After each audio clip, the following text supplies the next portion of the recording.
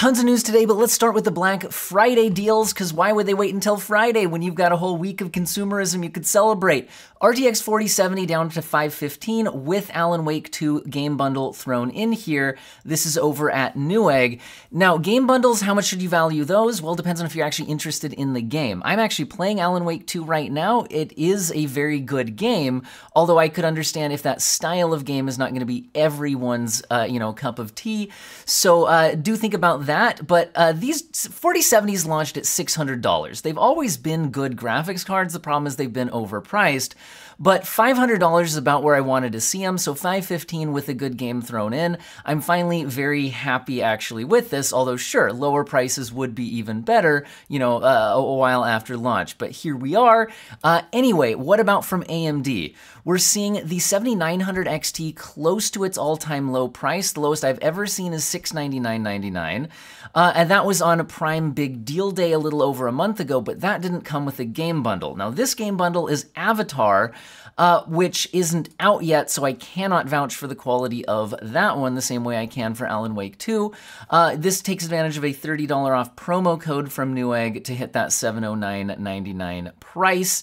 And uh, if that's still a bit out of your price range, the 6950 XT from the previous generation is hitting 589.99 on Amazon. And um, yes, the 7900 XT is faster. The 7900 XT has 20 gigabytes of VRAM. This has 16. I think 16 is still totally fine. Um, but and I do think that this one's offering better like performance per dollar than the 7900 XT, although it's fairly close. But if this is still out of your price range, how about the RX 6800? This is a 16 gigabyte graphics card for $369.99, and it doesn't just have a lot of gigabytes, it's still a very powerful graphics card. Uh, it is more powerful than, uh, for example, the 4060 Ti, which is uh, it's up against from a price competition. This doubles the VRAM. Yes, there's a 16 gigabyte 4060 Ti, but that costs a lot more than this does. Uh, and this is the lowest price I've ever seen on this card. I've seen it hit this before, but only using a coupon code. And yes, I say coupon, not coupon deal with it. How about a monitor to run your games on? 1440p IPS, 27 inch, G-Sync compatible, 170 hertz for 189.99. Seems like a good deal, good specs. I haven't used this particular monitor myself to vouch for it. And how about a desk to put it all on? A huge thank you to today's sponsor, Flexispot. A while back, my wife got a new classroom, and oh man, look at this disgusting mess of a desk they gave her. And Flexispot helped out by upgrading her to a beautiful new standing desk. The adjustability has paid off. She can stand up while she's using it in the classroom. She can sit down for lunch. She can even bring it down to the usable height of the preschoolers in her classroom. And the only problem has been how jealous the other teachers at her school have been. Well, Flexispot is coming through to upgrade one of her co-teachers to the new Comhar EW8Y standing desk. She selected the 48-inch bamboo white uh, with the neon lights that you can also purchase separately. The kids absolutely love these things. They're so cool. Uh, one of the best things about this desk is that it has a drawer as well as a USB charging station in addition to the excellent, steady, stable, adjustable standing height, which again has been so useful in the classroom. And best of all, check out Flexispot's Amazon Amazon Black Friday deal with up to 70% off and free orders November 24th and uh, through November 27th. Follow the link in the video description and pinned comment. And the last deal I'll mention is that uh, it's looking like a whole bunch of Intel processors are getting discounts on Amazon as well. Uh, so if you're looking for a CPU upgrade, might want to take a look at those previous generation Intel CPUs. Now let's get more into the actual hardware news.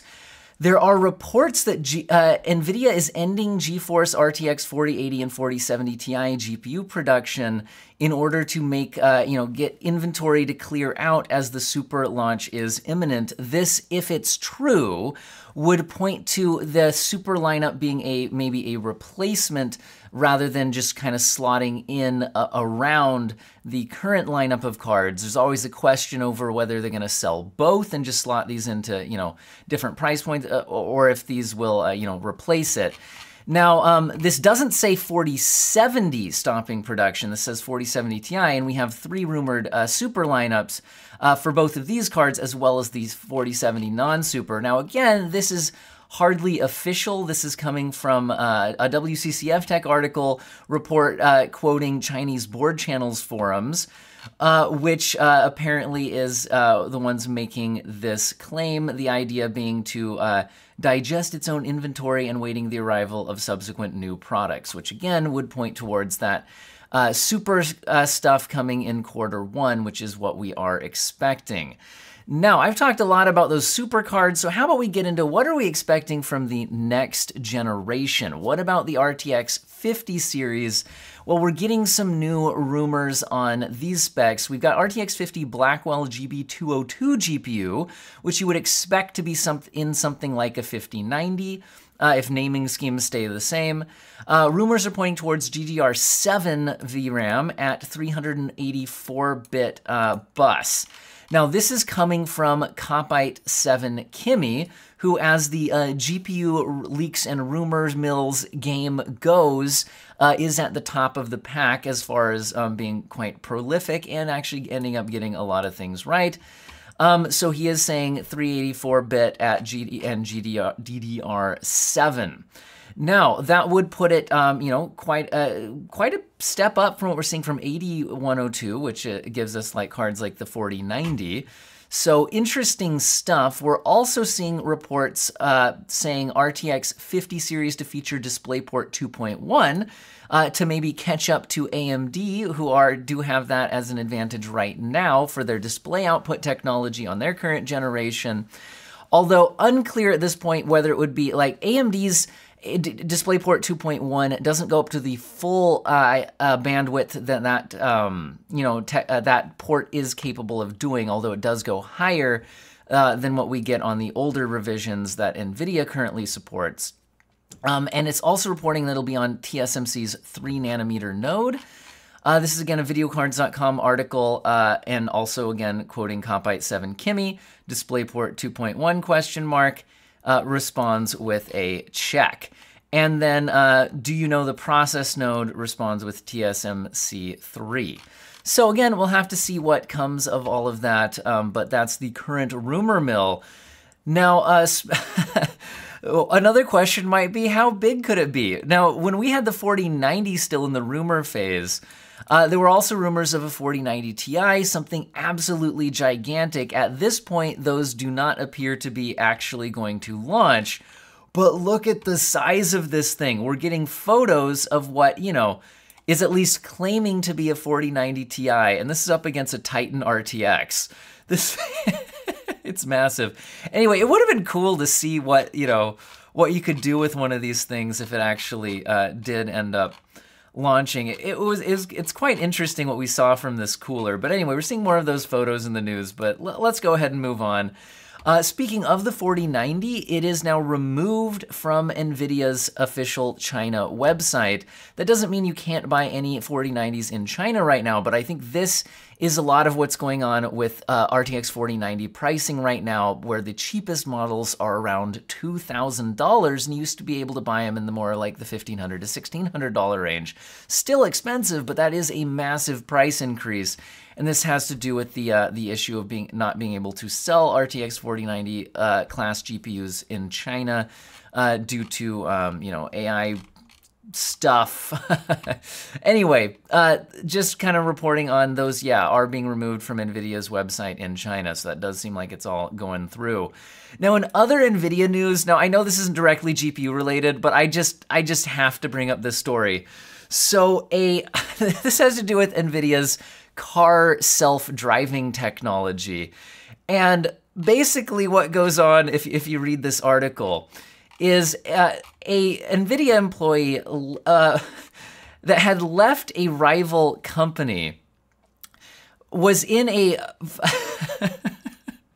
was in a video conference call uh, that included him now working for NVIDIA the old company, uh, Vallejo, I believe is how we would pronounce it, that he left, and uh, you know a, a car company that they were all all working with. So he's in a video conference call that does include people from the company he left, and in a screen sharing mishap, he accidentally, when minimizing his PowerPoint, showed off Vallejo docs, meaning that showing uh, showing that he had taken the source code and a bunch of uh, proprietary documents from his previous employer and then showed those files on a video conference call uh, with the former company that he worked for.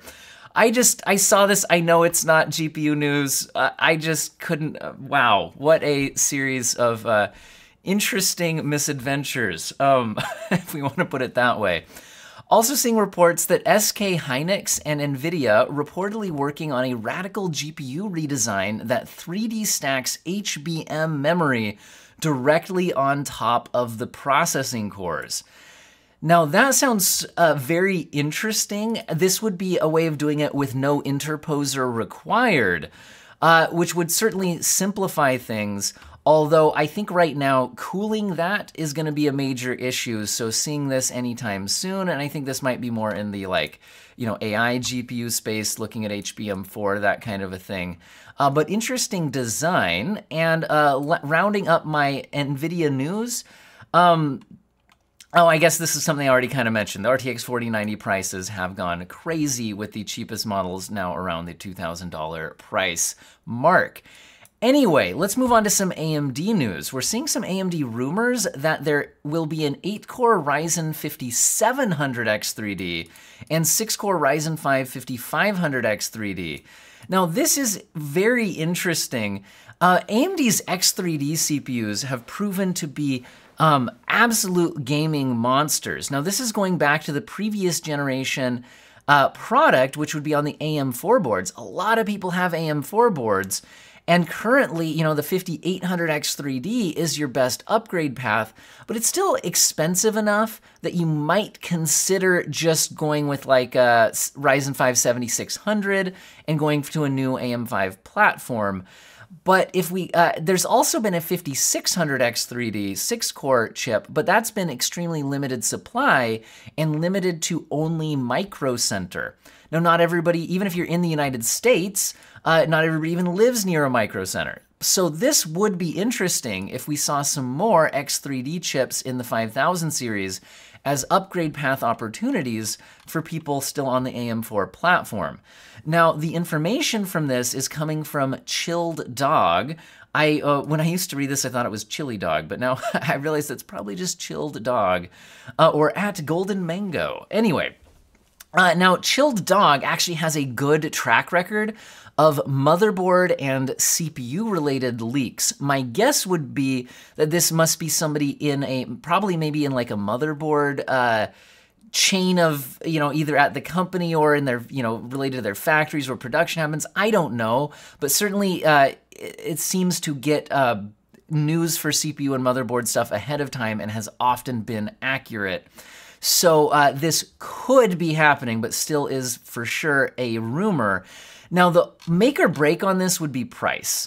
Because, um, again, the 5800X3D is obviously going to be better. And if you look at the specs that we're seeing summarized here at videocardz.com, the 5700X3D would be an 8-core part like the 5800X3D, but it is uh, has a 400 megahertz uh, cut to its boost and base clocks um, which is uh, definitely going to be noticeable in CPU limited gaming performance.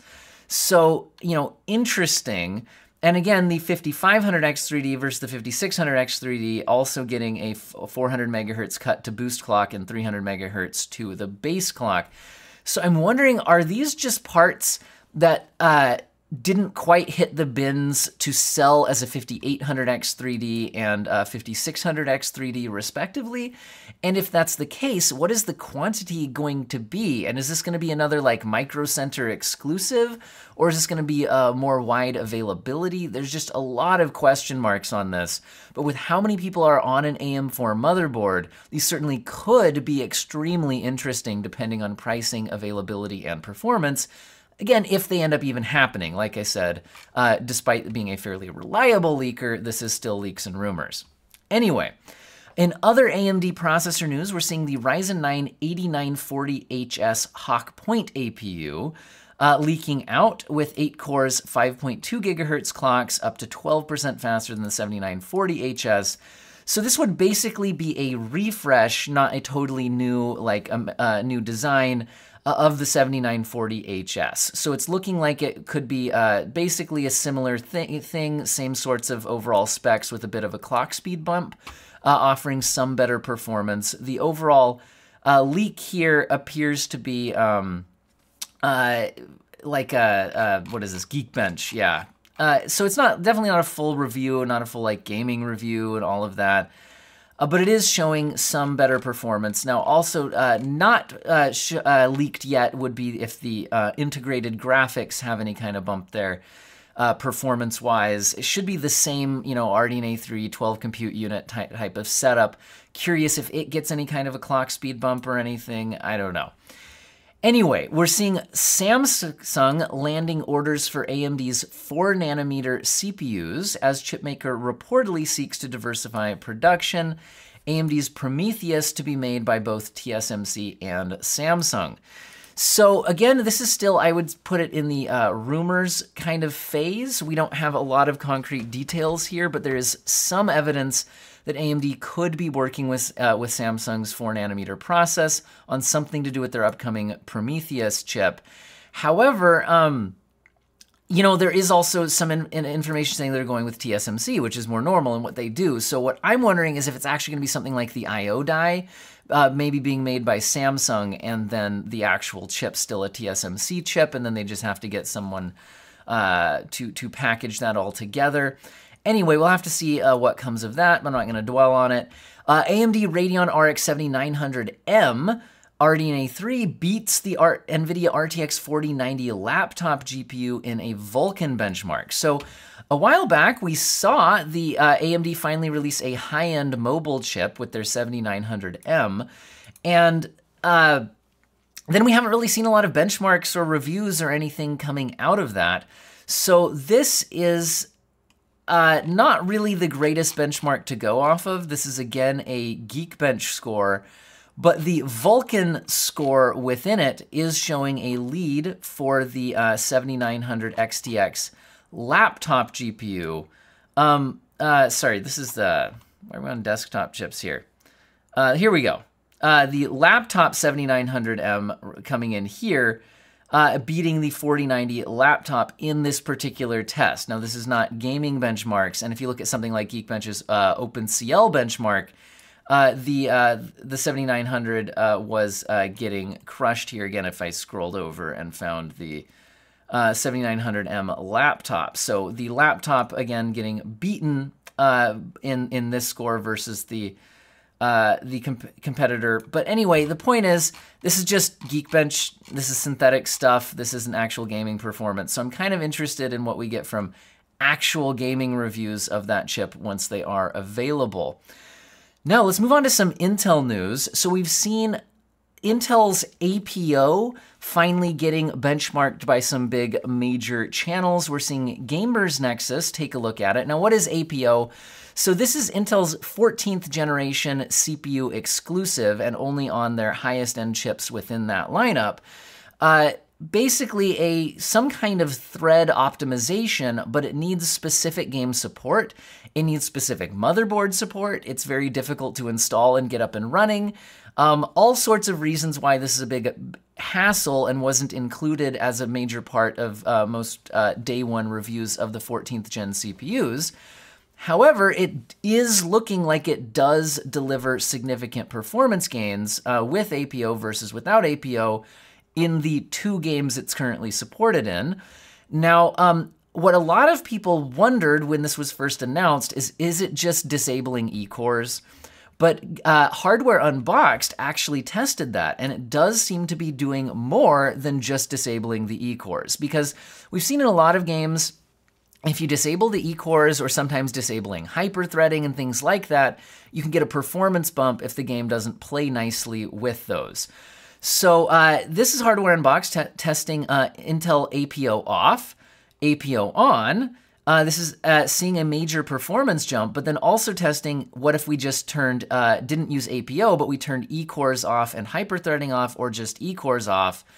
And it, it certainly is seeming to get a better performance boost using APO. So this does go beyond uh, the what some people suspected, which was maybe it's just intelligently turning off E-cores in games that don't like them. So this certainly does seem to be better than that. But the current issues of uh, getting it up and running and game support and, and CPU support makes it a lot less interesting.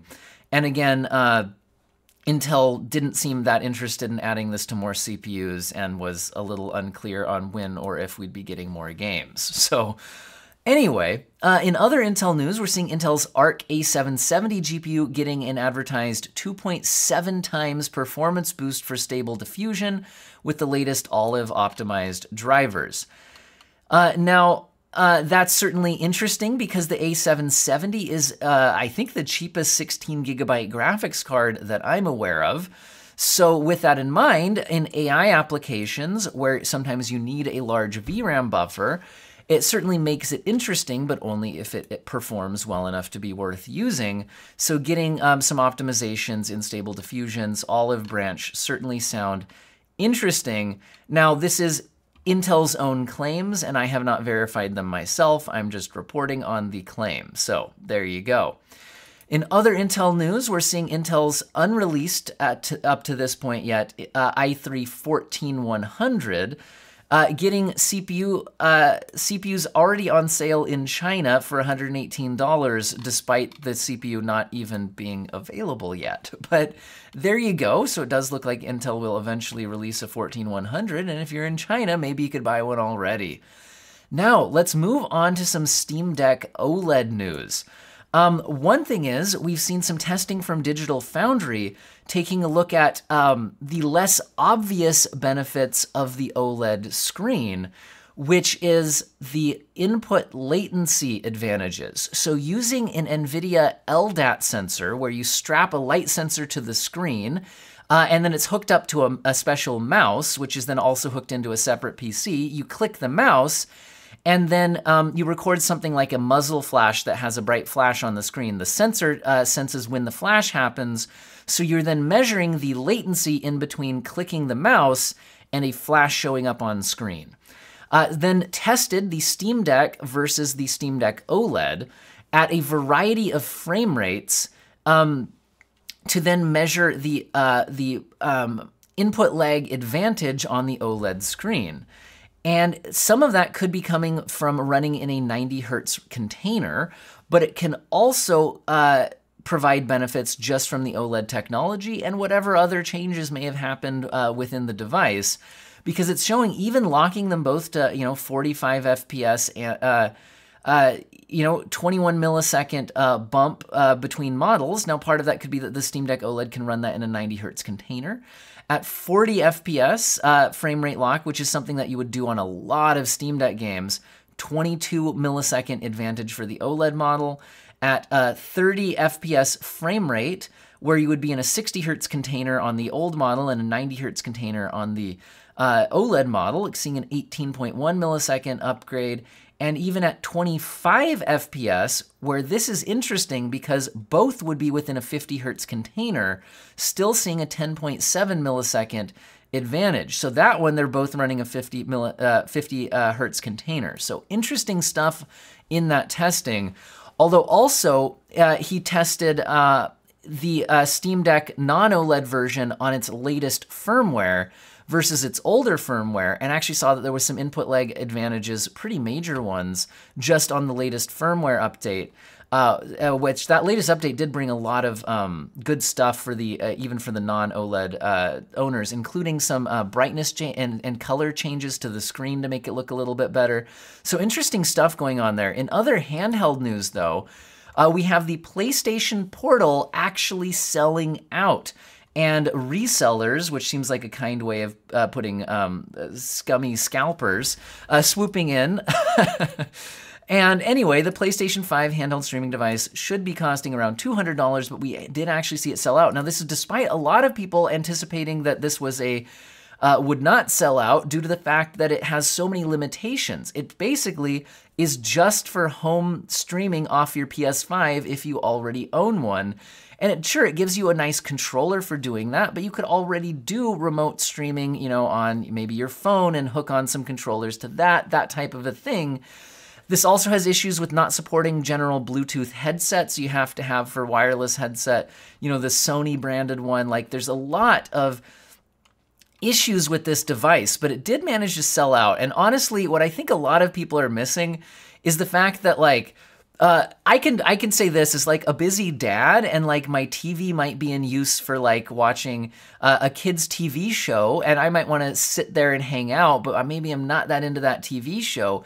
Might be cool to play on some kind of other device, and at two hundred dollars, this still does cost less uh, than something like a Steam Deck. So I'm not trying to defend this device. It has a lot of issues.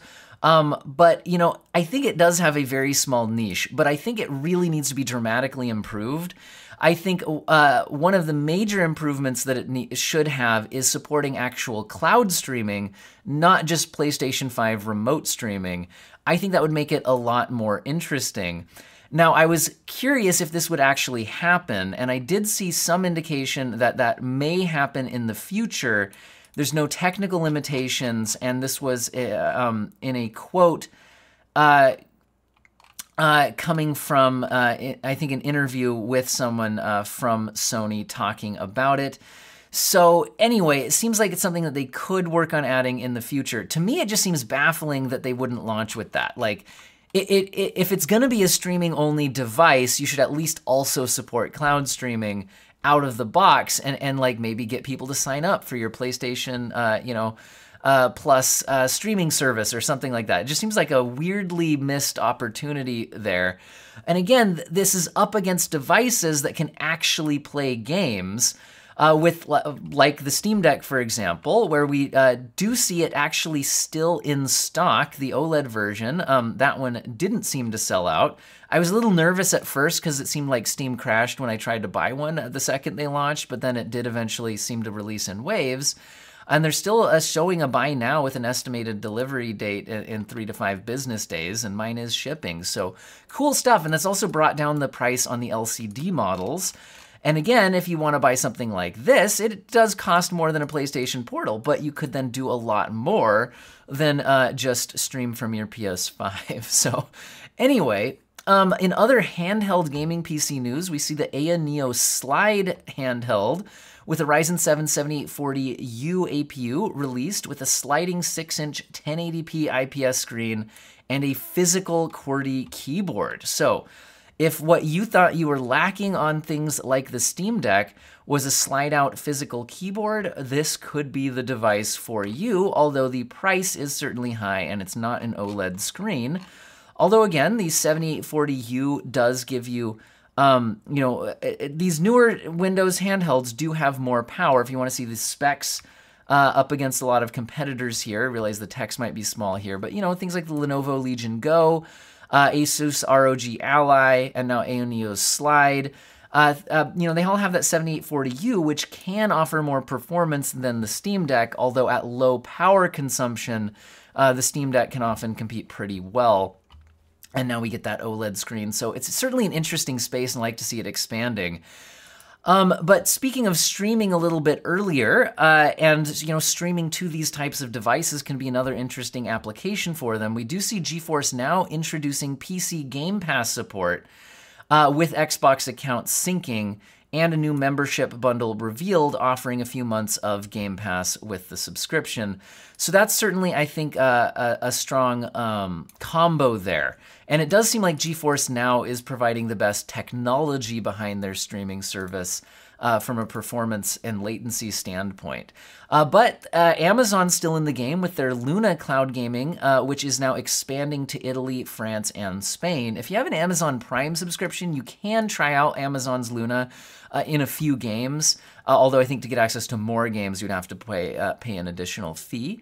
Uh, we're seeing Handbrake uh, adding AV1 support for NVIDIA RTX 40 and AMD RX 7000 RDNA3 GPUs. This is a popular, you know, video uh, uh conversion uh, uh, app. Anyway, we see Sam Altman no longer CEO of OpenAI and getting fired as board no longer has confidence in his abilities. Looks like he might be popping over to Microsoft.